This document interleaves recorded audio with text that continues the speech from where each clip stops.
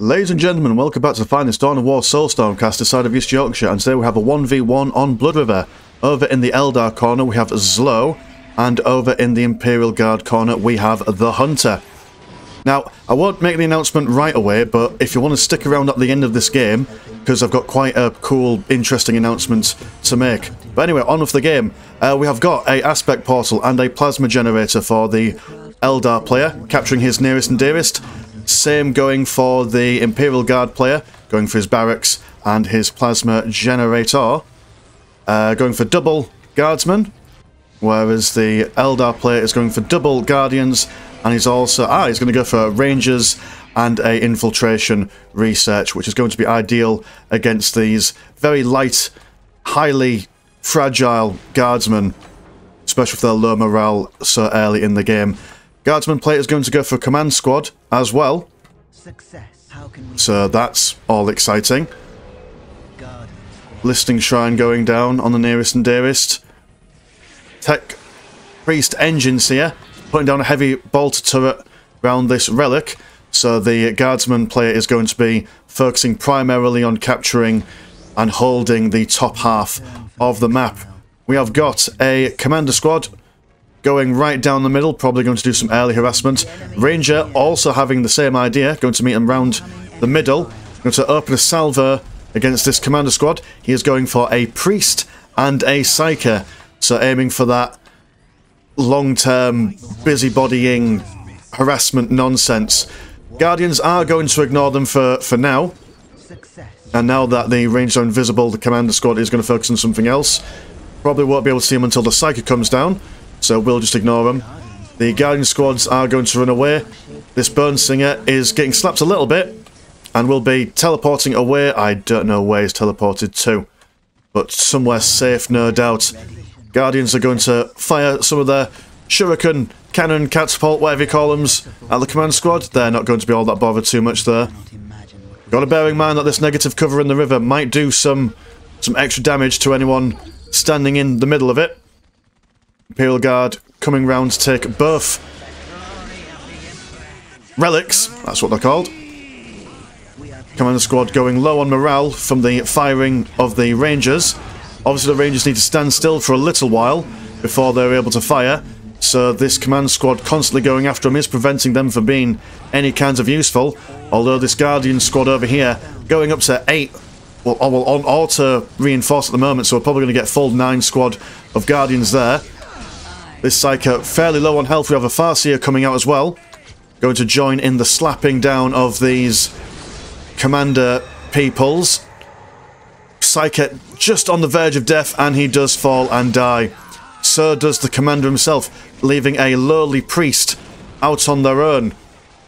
And it looks like that the priest is probably going to go down. Going to try and hide in the corner here to uh, just distract him as much as they can.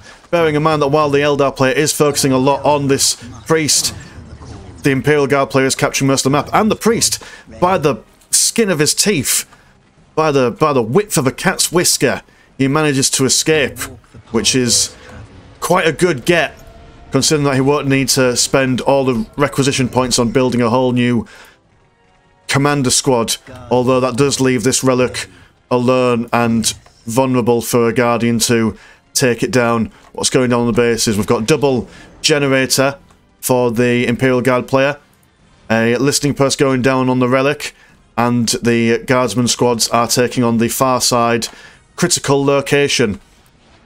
We have got a Dark Reaper stern in the aspect portal. I saw it in this little window down here. Got a second plasma generator going down. And the commander squad is back in. But we do have a Ranger squad also pushing in at the same time. Probably going to instantly wreck this Tech Priest Enginseer. Listing Post does have a shooty bits upgrade, but with the Guardian, well, not Guardians, the Rangers being invisible, not going to do all that much. Two Bone Singers have gone down to the uh, five men in the Guardsman squad and the uh, Commander squad. This Bone Singer is going to attempt to, to repair this plasma generator, but it will be shot down by the guardsmen's. Farseer is going to come in, make a big explodey bit. Going to almost kill the entire squad. Look how low health they are. Uh, Listing Shrine getting some shooty bits down. So this Imperial Guard squad is in a very tenuous situation. We've got another shooty bits on this listening shrine over here.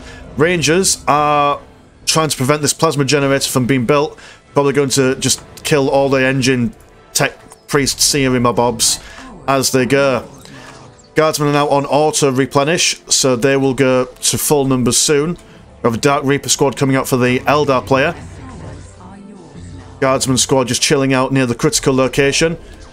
Eldar will soon see that there's a heavy bolter turret up here preventing them from chasing down the remaining guardsmen.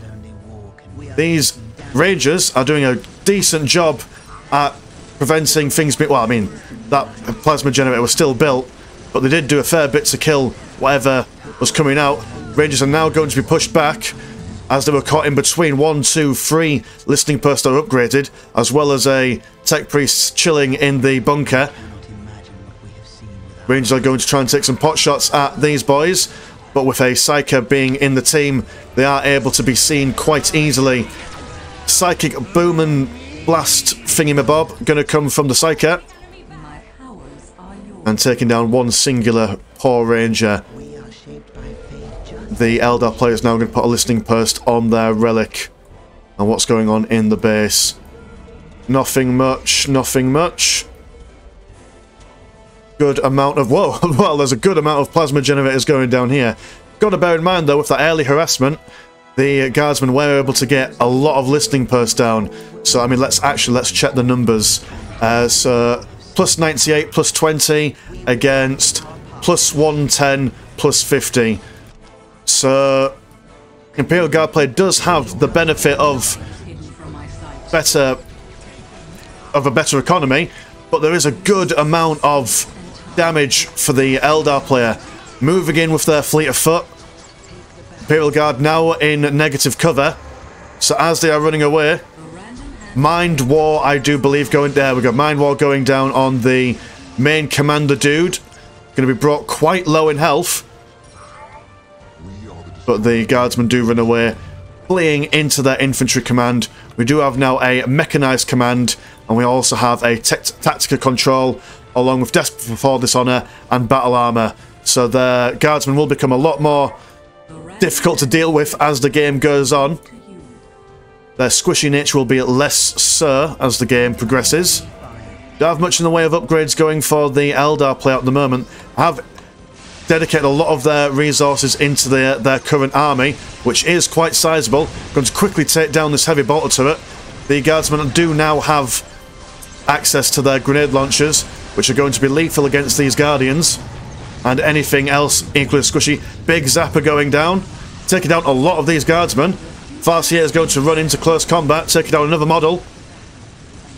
Listing post with his shooty bits, paying dividends against this Farseer. We've got the Dark Reapers quickly chunking away through a model down here. And we have got the other Reapers and Rangers taking down this listing post with shooty bits on it. Guardians only two models left. But they were able to zone out these boys for long enough so that this listing post could be taken care of.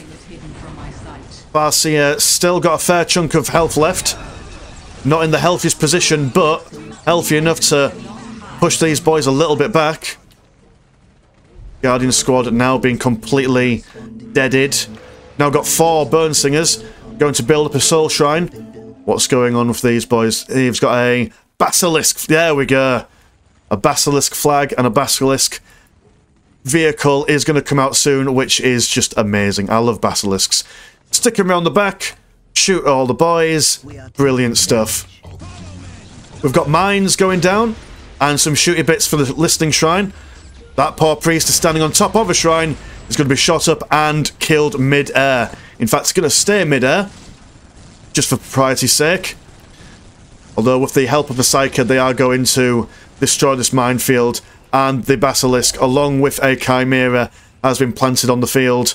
So the Eldar player is going to need to plan some sort of anti-doofering going on. We've got Mysticism for Warlocks to gain Conceal ability and all the other abilities. And we also have a Plasma Grenade upgrade going down.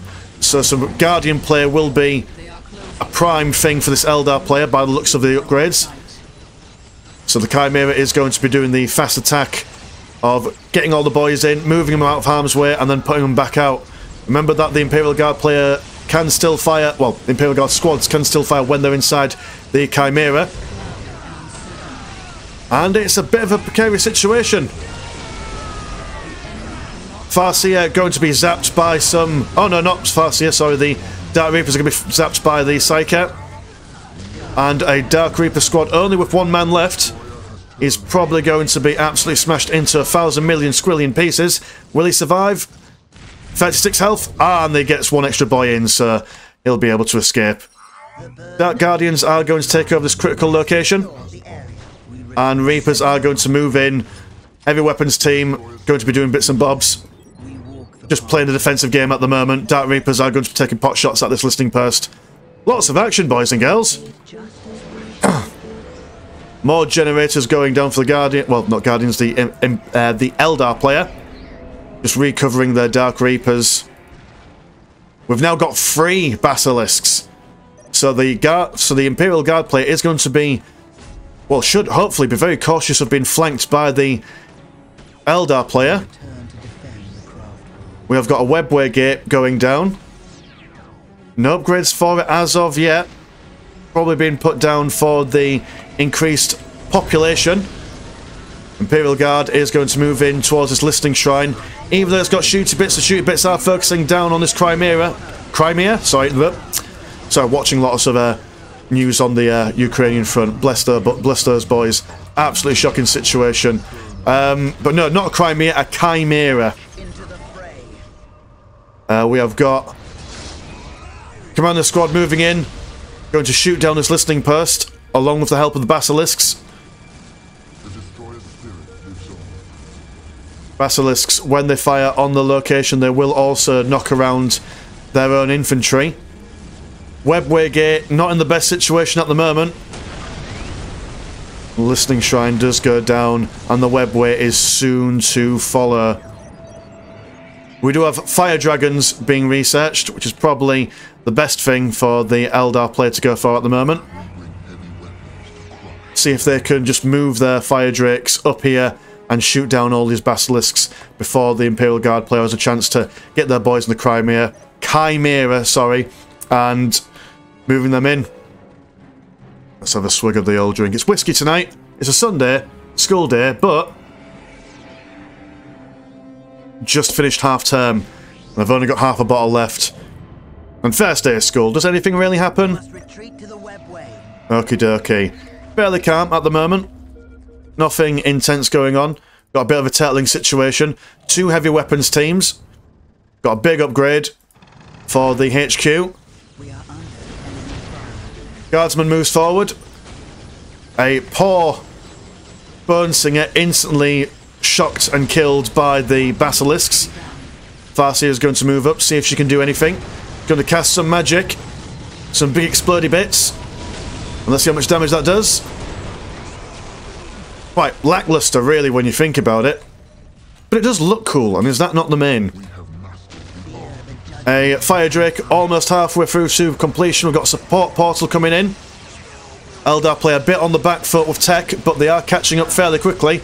Eldar player has lost this strategic point after it being decapped by the priest and his guardsman compatriots.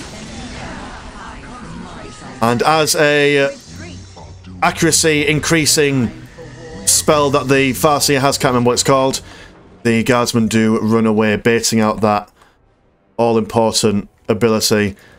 Listening post going down, although it's not being built up at the moment. Slow but surely this Tech Priest engine it is coming up. Fire Drake squad down. Support portal is up. We shall see what they'll go for. Probably jet bikes, maybe. Counteract the tanks and whatnot. Got anything else being built up? We have got Uncommon Valor. Going to increase the squad size of the Commander Squad. Another heavy weapons team. With this, map, with this map being as small as it is, the Basilisks don't need to come out too far. So maybe they're just staying there just to, perfect, to protect all the uh, requisition and power that has gone into building these trio of Basilisks. With two fire dragons there. I always call them fire drakes, fire dragons. Um, they'll make very quick work of those basilisks if they can get in close enough. Guardians moving up. Going to be looking at this critical location. They've still got this one, so if they capture another one, that will put the countdown on. Web whip all going down. We've got a Viper out. Got less health than the Chimera, but much more mobile, especially for the jumpy bits. So they will be able to get in and, and around. Uh, these heavy bolters, oh, so these heavy weapons team have been upgraded with an auto cannon. So that'll make them good against heavy infantry. That's probably what they're expecting. Got a big scanner coming down from the Imperial Guards HQ building, which will allow the um, Basilisks to fire at long range. We'd have a good fighter squad of jet bikes coming in. That's exactly what they're probably going to do. Just going to go around the side, jump in, blow the shit out of all these boys. Which is exactly what you want. Almost capturing this critical location. Going to start the countdown any moment now. Imperial Guard player putting all his boys in a Crimea, Chimera. And we've got a Mars pattern command going down with a Baneblade on the approach. I do believe this will be the first 1v1 game where relic units are being used. So that's quite exciting. Double Bone Singer's going to put down on this listing shrine.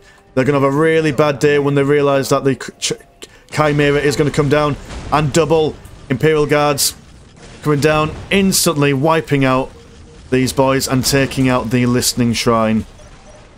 And then they're also going to steal the relic as well, just for good measure. These boys are going to come round, fleet of footing in.